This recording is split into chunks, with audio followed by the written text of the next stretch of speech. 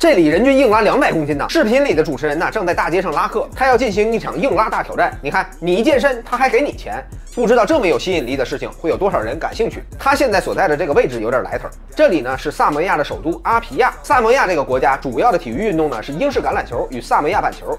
尽管这里的人口呢不多，只有二十来万，但是当地啊可出产了大批优秀的运动员呢。萨摩亚人呢也以出色的橄榄球表现闻名。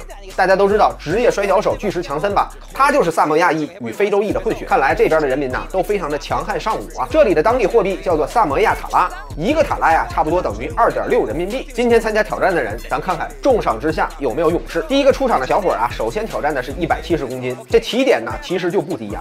小伙子穿着拖鞋，戴着帽衫，把杠铃拉了一半，哎，竟然失败了。一般来说啊，这杠铃离地是最难的阶段，看来小伙啊可能有点握力不足。